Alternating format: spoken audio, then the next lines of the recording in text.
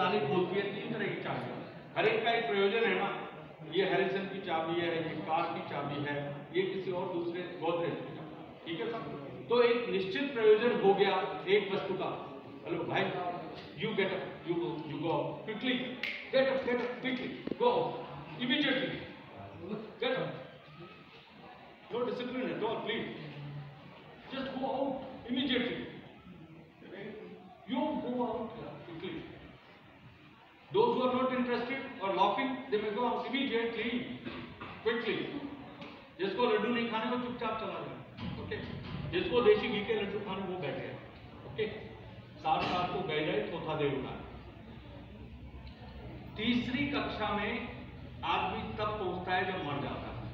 अब ये कौन बताएगा कि आत्मा स्वर्ग में गई देवलोक में गई अथवा नरक में गई? हमारे घर कर्म बताएँगे ओके कर्म तो तय करेंगे। लेकिन हम ये कह रहे हैं कि ये कैसे पता चलेगा? इसको प्रमाणित कौन करेगा?